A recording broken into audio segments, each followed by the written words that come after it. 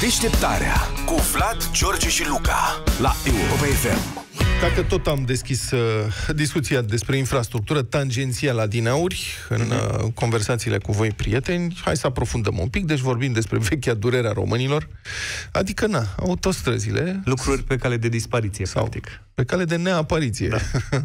deci despre lipsa lor. Există, există ceva undeva, știți, care împiedică guvernele României să organizeze și să asigure construcția de autostrăzi în această țară. E un foarte mare mister, un triunghi al Bermudelor românesc. Nu e clar. Adică toți în jurul nostru par să fi rezolvat deja această problemă sau sunt pe cale să rezolve. În urmă cu cât? 15 ani, centura Budapestei, de exemplu, era similară cu centura României, o, cu centura Bucureștiului. O mizerie pe o bandă, cu o bandă pe sens, aglomerație, am trecut pe acolo. Acum sunt la trei benzi pe sens și podurile de peste Dunăre au și câte patru. Au făcut prea multe, Da. părerea mea. Sofia, Bulgaria au făcut centura Sofiei. Bă, toți fac în jurul nostru. Păi și nu mai sunt aglomerate, vezi? Nu, se, nu sunt folosite la adevărata lor valoare. Deci sunt prea multe. Da, e prea mult. Bun, uh, sigur, mai puțin Moldova. Nici Moldova n-a reușit să rezolve. Republica Moldova, adică moldovanii, cum își spun ei. Așchia nu sare. Da. Păi ei și ei sunt români. Nu, ei sunt chiar mai ghinioniști ca noi, săraci de ei. Acum, știți, există banii pentru un program masiv de construcție de autostrăzi, printr-o excepție făcută cu multă milă față de repetentul clasei. Uniunea Europeană a acceptat că mai mult de un sfert din banii din PNRR, adică peste 7 miliarde de euro, să meargă pentru construcția de autostrăzi și căi ferate în România. Totuși, după cum avertizează cea mai serioasă organizație care monitorizează evoluția acestor proiecte, adică Asociația Pro Infrastructura, din cei 438 de kilometri de autostradă în proiect, mai puțin de jumătate au șanse serioase să respecte regulile PNRR și să fie funcțional până în 2026.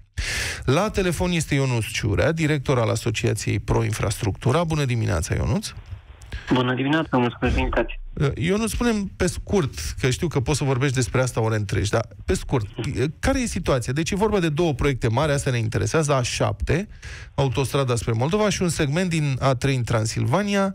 Ce proiecte au șanse, ce proiecte nu? Grosul uh, de autostrăzi din uh, PNRR sunt, uh, sau este, grosul este luat de autostrada A7, de loturile din A7, Uh-huh. sunt undeva pe la 320 de kilometri din Ploiești-Pașcani. Da. Aici avem uh, licitații lansate pe Ploiești-Buzău, unde avem și câștigători de semnați, trei loturi. Și de la Buzău la Focșani uh, s-au, uh, uh, s-au depus ofertele, cred că săptămâna trecută, ceva de ce. Uh-huh. Deci, dacă de la Ploiești până la Buzău și de la Buzău până la Focșani avem șanse decente să ajungem uh, uh, pe autostrada asta a șapte până în 2026, cel mai târziu. Dincolo e cam greu. Am mă refer la restul din a șapte. De ce? Păi pentru că încă nu avem licitații lansate și noi suntem la jumătatea lui 2022. Da, dar de ce nu se lansează aceste licitații? Avem banii, Păi, avem necesitatea, există am- piață. Avem, avem, numai că avem întârzieri în pregătirea proiectelor. În momentul în care am trecut uh, în PNRR lista asta, eram departe de finalizarea, dacă vorbim doar de A7, de studii de fezabilitate și proiectul tehnic. Cine se, Care încă ocupă, nu a cine fost. se ocupă de aceste proiecte, de studii de fezabilitate? Cine trebuie să facă pregătirile pentru lansarea licita- licitațiilor? Da, mi-a spus două întrebări într-una. Da. Se, ocupă, se ocupă compania de drumuri de tot ce înseamnă licitație, CNAIR, care de stat în pregătire, CNAIR, compania de da? Iar pentru uh, partea de proiectare, studiu de fezabilitate și în cazul A7 și proiectare la pachet, se ocupă proiectanții din piață, deci firme private Mhm. care asta fac. Cu ghilimelele, sunt, mă ierte, desenează Da. și aduc cei care au totuși și ce, ceva capacitate să facă asta, aduc niște foreze în teren, sunt niște foreze cam cât o casă, mai bine de o casă înalte, Mhm. ca să nu vă imaginați că e așa ca un uh, burghiu de la de mână Da. um, sunt niște instrumente totuși destul de serioase, care ar trebui să intre în teren și să facă celebrele inexistentele pe alocuri, studii geotehnice. Ei Adică nu să fac... ne dăm- Astea sunt firme private. Firmele private sunt firme trebuie... private, da. din Ei nu contracte. fac pentru că nu sunt plătiți de compania de drumuri, nu neapărat după ce au contractul. Și acolo e o problemă cu plată după, Mhm. după ce au semnat contractul, dar la licitație, adică din start, din capul locului, compania de drumuri nu lansează pe bani suficienți aceste studii de fezabilitate. uh, în special pe partea de geotehnică. Și există, din păcate, mitul ăsta că studiile de fezabilitate sunt scumpe. Sunt scumpe pentru că sunt maculatură și ele, în momentul în care ar trebui să stea la baza licitației de lucrări, nu pot să facă lucrul ăsta, pentru că sunt maculatură, pentru că din start au fost date de bani puțini uh, și uh, s-a făcut foarte puțin pe studiile respective. Ca să discutăm tot așa un topic și pe autostrada 8 exact, despre asta discutăm pe A8. A8 care este Moldova, Transilvania. Da, Moldova, Transilvania, Iași, Târgu Mureș. Târgu da. Mureș, Iași. În PNRR există aproximativ 60 de kilometri trecuți din acești vreo 310 km cât ar trebui să aibă într-un final A8 uh, și aceste capete sunt parte dintr-un contract de proiectare doar pe partea de fezabilitate. Deci ce se facă o fezabilitate, sus de fezabilitate. Iar acest contract a fost dat pe bani foarte puțini. La Bun. fel cum a fost dat și pe uh, A1 Sibiu Pitești, unde s-au livrat la fel, doar capetele. Când proiectantul a terminat banii, s-a reziliat contractul, s-a livrat acolo, s-au livrat doar capetele, deci o mică parte s-a livrat din contractul inițial pentru că s-au terminat banii. La fel, probabil, suntem pe cale să se întâmple lucrul ăsta la fel aici, să vedem dacă o să livreze ceva, pentru că aici proiectantul, prin contract, este plătit doar dacă livrează tot studiul. Și, practic, nu are bani uh-huh. de la compania de drumuri ca Bun. să livreze tot studiul. E super frustrant că se întâmplă asta. Adică yes. de ani Mai de zile nu, nu se construiește, banii sunt prea puțini, CNAIR nu reușește să facă, nu...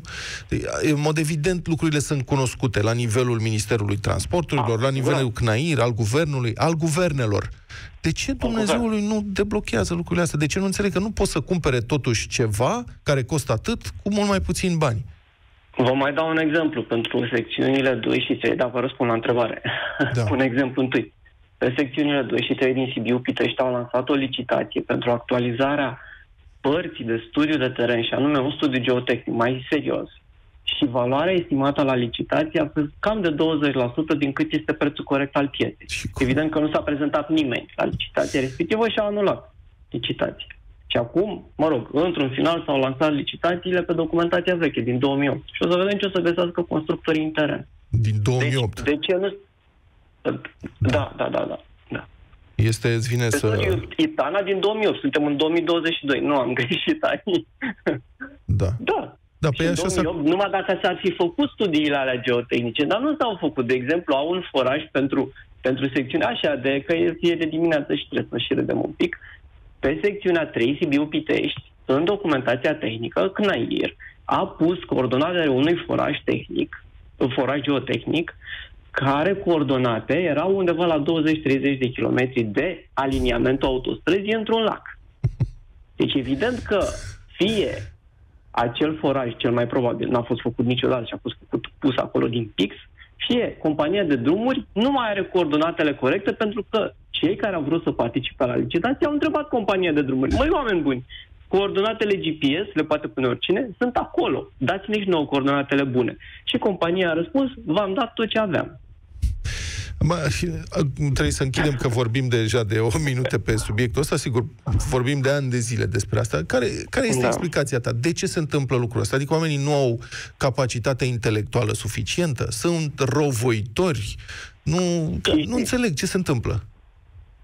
Am mai zis-o, o dau și așa, uh, breaking news în prime time, de dimineață. Prostul nu e prost destul până nu e și fudul.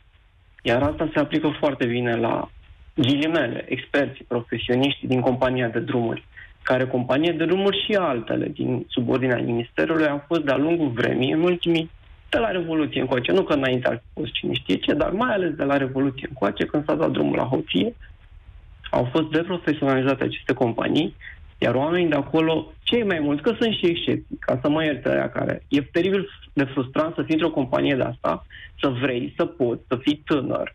Nu sunt mulți de genul ăsta să fii totuși profesionist și să vezi că cei mai mulți în jurul tău sunt puși pe pile doar de partide, mai ales șefia, și uh, încerci să crești profesional într-o companie care e găunoasă și care de ani de zile, de zeci de ani de zile, a fost căpușată și populată cu, să nu zic proști, incompetenți.